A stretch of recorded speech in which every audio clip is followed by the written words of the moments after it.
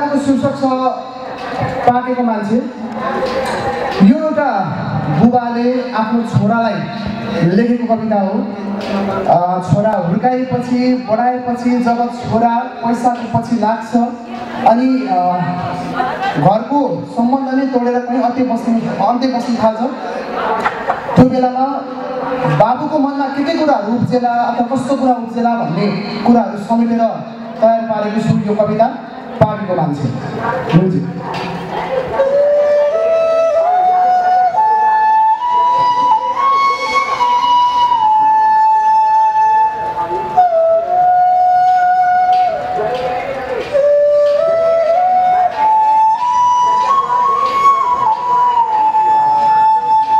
मान्छेलाई पाकेका कुराहरू मन पर्दो रहेछ। पाकेको आँप केरा पाकेको लिची पाकेको तामा तर मान्छेलाई कति मन पर्दो रहेनछ आफ्नै पाकेका बाबुआमा म आफू काँचो छँदा पाकेको कतरको दानाहरू एउटा एउटा गरेर मैले मेरो छोरालाई खुवाएको म आफू काँचो छँदा पाकेका कतरका दानाहरू एउटा एउटा गरेर मैले मेरो छोरालाई खुवाएको थिएँ। तर आज म आफै पाकिसकेपछि मेरा काँचै भएका रहरहरू एउटा एउटा गरेर म आफैले खाइरहेको छु। छोरा तिमी सानै हुँदा तिम्रो दुईवटा दाँत मात्रै पलाएको बेला छोरा तिमी सानै हुँदा तिम्रो दुईवटा दाँत मात्रै पलाएको बेला तिम्रो त्यो खाली गिजाले बोलेका प्रत्येक शब्दहरू मलाई अति मन पर्थ्यो। छोरा तिमी सानै हुँदा तिम्रो दुईवटा मात्रै दाँत पलाएका बेला तिम्रो ती खाली गिजाहरूले बोलेका प्रत्येक शब्दहरू मलाई अति मन पर्थ्यो। तर यति बेला कुहिएर सबै दाँत झरिसकेपछि दुईवटा दाँत मात्रै बाँकी भएको बेला मेरा यी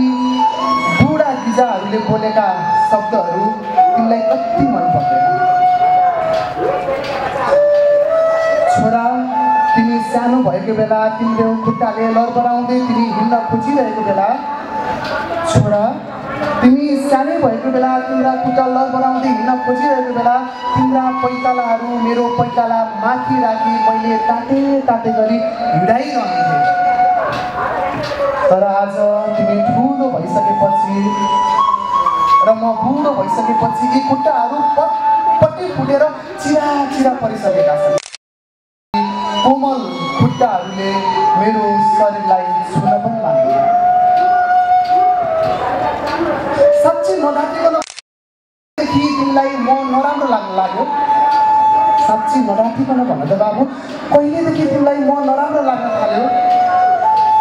तिम्रो दाँत बिग्रिन्छ भनेर तिमीलाई चक्लेट खान नदिएदेखि कि तिम्रो पढाइ बिग्रिन्छ भनेर तिमीलाई टिभी हेर्न र मोबाइल चलाउन नदिएदेखि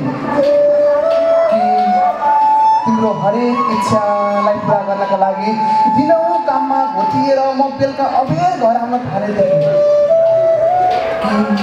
गलत सङ्गतमा लाग्छौ भनेर दिनरात तिमीलाई सम्झाइरहन थालेपछि।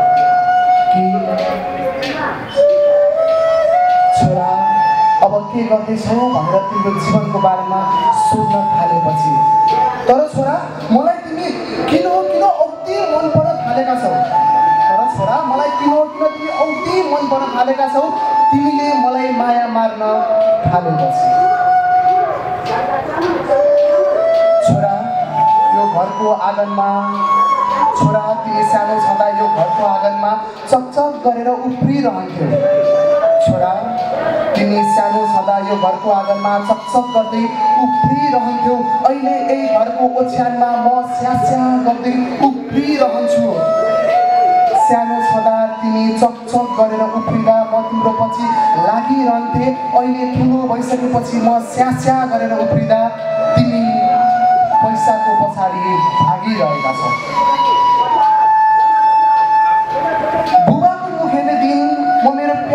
छोराको फोटो हेरेर बस्छु।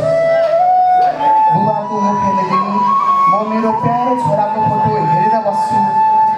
गाउँभरि दसैँले छपक्कै छुट्दा म तिमी आउने दिन बन्दै भित्तामा भएको पात्रो कोरेर बस्छु। गाउँभरि तिहार आउँदा देउसीले गुन्जेमान हुन्छ। तिहार आउँदा गाउँले देउसीले गुन्जेमान हुन्छ। तर म तिम्रै नाम मात्रै भट्टाएर बस्छु। जन्मदिन याद छ कि छैन ठ्याक्कै थाहा भएन बाबु। तिमीलाई मेरो जन्मदिन थाहा छ कि छैन ठ्याक्कै थाहा भएन बाबु तर मलाई तिमी जन्मिएको दिन अहिले पनि ठ्याक्कै थाहा छ। तिमीलाई मेरो जन्मदिन याद छ कि छैन थाहा भएन बाबु तर मलाई तिमी जन्मिएको दिन अहिले पनि ठ्याक्कै थाहा छ। म तिम्रो जन्मदिनमा यी आँसुले तिम्रा यादहरू पट्टाएर बस्छु।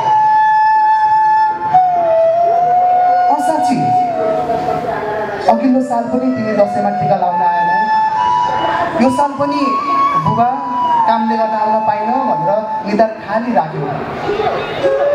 दसैँमा त फुर्सद नपाउने मेरो छोरा तिमी जति नै व्यस्त भए पनि म मरेको दिन मेरो शरीरलाई दाग बत्ती दिन चाहिँ जसरी पनि आउन।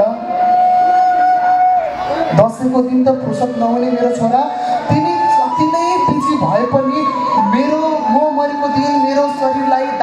दिन जसरी पनि आउन तिमी त मेरो मुटुको टुक्रा आउनु मुटुको टुक्राले लगाएको आगो पनि एकदम शीतल हुन्छ अरे।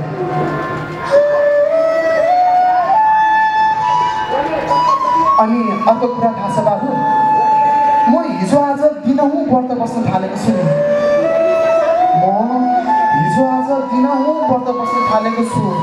यति व्रत बसेको देखेर सबैले मलाई सोध्छन् काका हजुर त यति कमजोर हुनुहुन्छ अनि व्रत चाहिँ किन बस्नु भएको?